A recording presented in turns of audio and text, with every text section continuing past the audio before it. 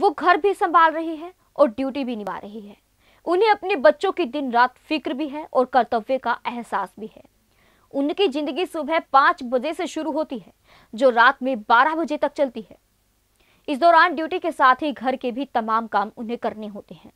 घर और बाहर दोनों की जिम्मेवारियों को पूरा कर रही इन वीरांगनाओं में से किसी ने खुद और परिवार को सुरक्षित रखने के लिए किराए से कमरा लिया है तो किसी ने परिवार से दूरी बना ली है। आज हम ऐसी ही महिला पुलिस कर्मियों की कहानी सुना रहे हैं, जो खाकी वर्दी में ना सिर्फ़ कोरोना वायरस को हराने में लगी हुई है, बल्कि इस मुश्किल दौर में अपने परिवार को भी संभाल रही है। आपको बता दें कि भोपाल में महिला पुलिसकर्मी अपने परिवार को भी देख रही है और अपनी ड्यूटी को भी बखूबी निभा रही है।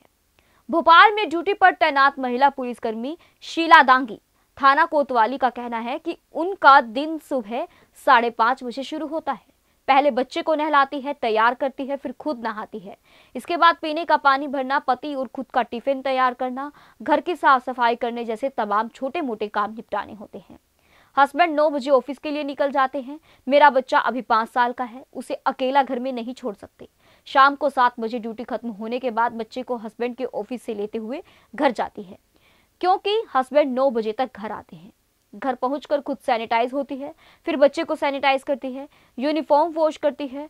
मीरा सिंह तेईस बाल्टीन का कहना है कि वह सुबह पाँच बजे उठ जाती है, क्योंकि सात बजे मुझे ड्यूटी पर पहुँचना होता है। सुबह के दो घंटे बेहद व्यस्त होते हैं। वहीं सुमन सिंह तेईस बाल्टीन का कहना है कि वह सरकारी क्वार्टर में रहती है। अभी घर पर अकेली ही है, क्योंकि माँ और भाई लॉकडाउन के चलते गाँव में फंस गए हैं। वह लॉकडाउन के पहले आ गई थी। उन्होंने कहा कि उनकी ड्यूटी भोपाल चौराहे पर लगी हुई है। चेकिंग में ड्यूटी है। दिन भर लोगों को समझाने और जाँच कराने में निकल जाता है। सोनम सूर्यवंशी यातायात थाना में कार्यरत है। उन्होंने कहा कि वह अकेले रहती है।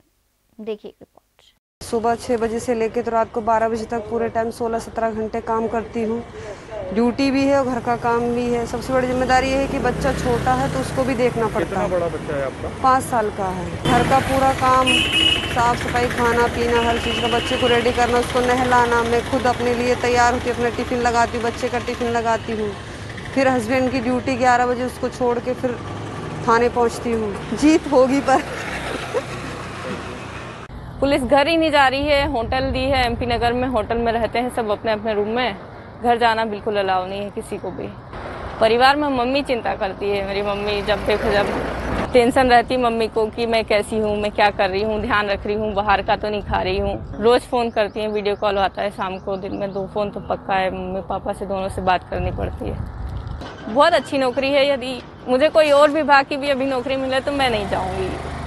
सुबह तो सात बजे निकल सात बजे हमको पॉइंट पे पहुँचना पड़ता है। लेकिन सुबह हम पाँच बजे उठते हैं बच्चों के लिए खाना वगैरह बना के रख के आते हैंगे।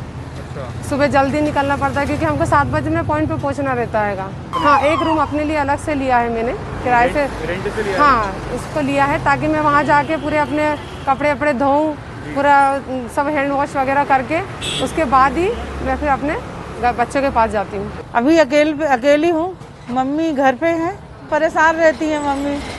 रोती रहती है कि कॉल करती है, वीडियो कॉल करती है फिर रोने लगती है कि कब ये खत्म होगा, कब देखने को मिलेगा बेटा, कब आओगी। सुबह उठ जाते हैं, हम पाँच बजे उठते हैं। पूरा झाड़ू पोछा, बर्तन सब करने के बाद खाना बनाना तो अपने लिए लंच, चाय सब घर से बना के लाते हैं।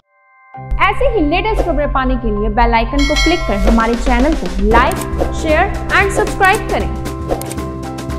धन्यवाद।